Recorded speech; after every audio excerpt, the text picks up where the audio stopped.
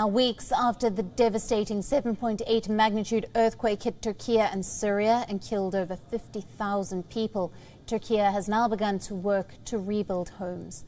The death toll in Turkey due to the massive earthquake has crossed uh, over 44,000, while more than 160,000 buildings containing have been severely damaged.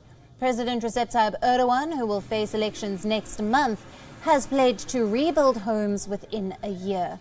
However, experts have said that instead of building homes quickly, the priority of authorities should be safety. This is some buildings that were meant to withstand tremors crumbled in the latest earthquakes. However, experts say that the risk of earthquake in Istanbul, which is home to 16 million inhabitants, has not increased. Artmadı çünkü tamamen farklı sistemlerden bahsediyoruz. Dolayısıyla İstanbul'da depremin riskinin artması demek 99 depremleri sonrasında bunu söyleyebiliriz.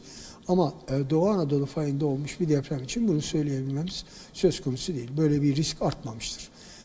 Erdogan's government has faced severe criticism over its response to the devastation, as well as failure to enforce the construction quality.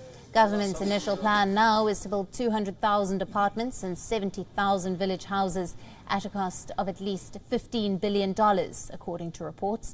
Estimated cost of rebuilding houses and infrastructure will be around $25 billion.